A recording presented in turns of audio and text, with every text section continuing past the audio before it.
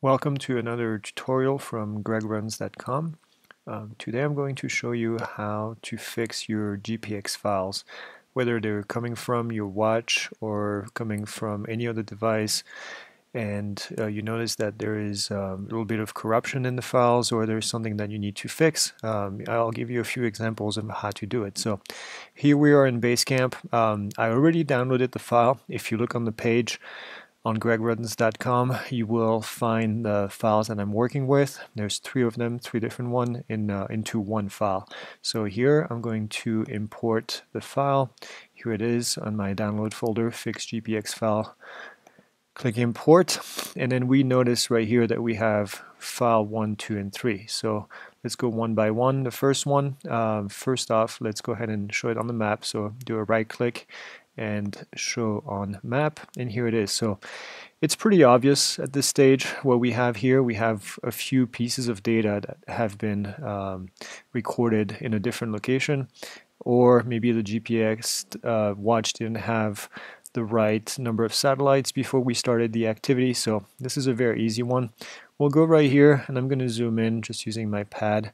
Um, and you can see there is one two three different points um, that we can see. So I'm going to do a right click. You can do two things here. You can do right click get info or you can simply uh, double click on the file. This window will open up. Um, what I like to do is drag the window down a little bit and you can see the points are highlighted, the points that we need to, um, to delete. So I'm going to go right here, do uh, delete on my keyboard, delete again, delete one more time, and then delete. Um, now you notice all of this is gone. If I go back, up oh, here's my activity, and now it's good to go. So that was a very easy fix. Um, I'm going to go back actually and do a Command Z and go back a little bit.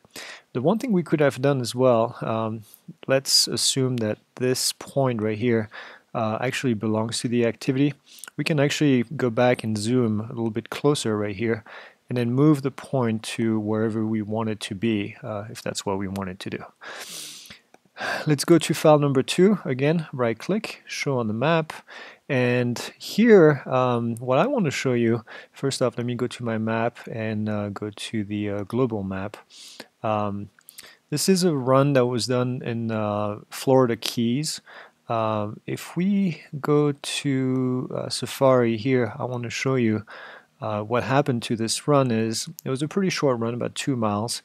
And right at the end, there's a couple points that um, make it really funky uh, with paces at around four minutes per mile, which uh, definitely did not happen during this run. So let's go back to Basecamp.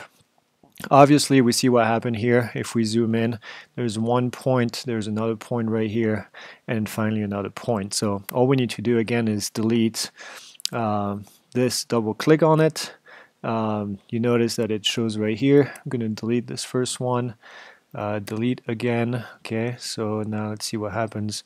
Um, let's go scroll down all the way to the end. Oh, let me just make this window a little bit smaller here. Okay, so again, go to the last file, last point, and there we go. Uh, now it looks like we have everything that we need uh, cleaned off. So what I would do in this case, um, file, export uh, selected user data, name it something different, and then import it into your Strava. so let's go to the last file. Again, show on the map.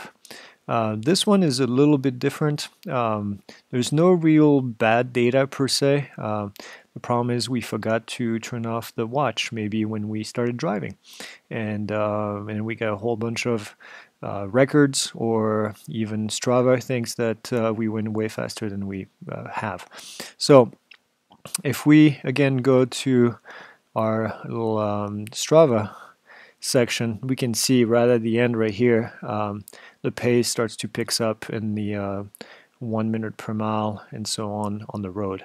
So uh, what we'll do here is we'll just split the track at this point and then uh, just delete the rest of it. So I'm going to go back to Basecamp and um, try to pinpoint, uh, knowing exactly where the track, I'm going to go back to my Arizona topo map right here. Um, and I know where it was. I know where it happened. It happened in the parking lot um, right here. So we can see, I know the parking lot is right here, and we can see how spaced out the points are at this stage right here. So I'm going to go to that last point right here, do a right click, and do split track at point. What it's going to do is uh, create two different tracks. So it opens this new tab for the new file. I'm going to click OK. So we can see the first file here is our first run, and then the second portion of it is the portion that was done in the car. Um, so at this point, I'm just going to do right click, delete from uh, from uh, my collection, and it's uh, it's gone. It's cleaned up. Again, export this into a new uh, GPX file, import it into Strava or Garmin Connect or whatever it is that you use, and you're good to go. Um, if you have any question, leave it in the comments, and uh, if you have any problems with your file, let me know. Something that maybe we didn't mention in this uh, in this tutorial, and uh, I'll try to help you. And that's it. Thanks for watching, and uh, we'll see you again soon.